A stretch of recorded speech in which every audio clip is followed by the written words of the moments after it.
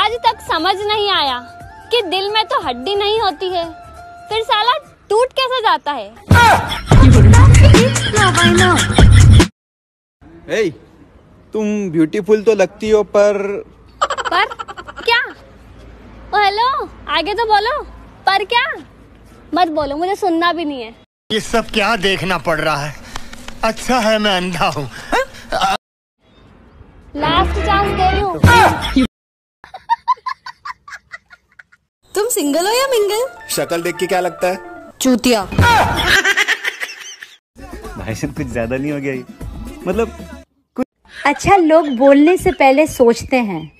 मैं बोलने के बाद सोचती हूँ कि अरे ये तो बताना ही नहीं था। एकदम इन्होंने वक्त बदल दिया जज्बात बदल दिए ज़िंदगी बदल दी।